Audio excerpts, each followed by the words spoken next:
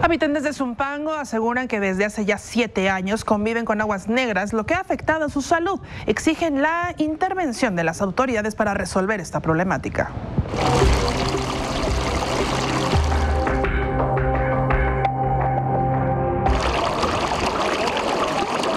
Esto, el agua, es agua con heces fecales. Hay niños, se está saliendo de los registros de las casas. Toda la gente que pasa inhala esto, nos estamos enfermando.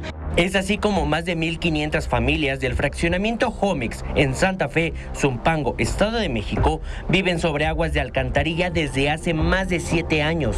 Y desgraciadamente nuestras autoridades no nos hacen caso.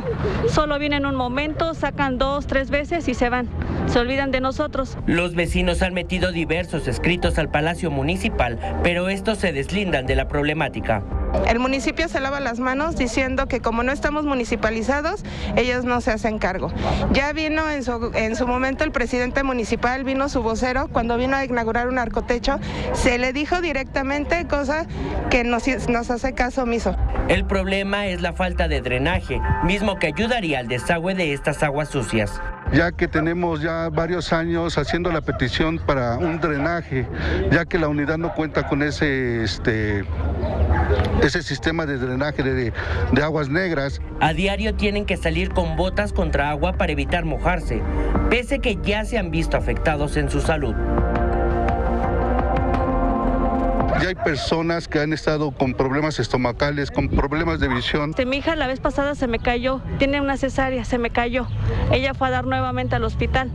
Entonces para nosotros es muy difícil. También los accesos a dos instituciones educativas se han visto afectados.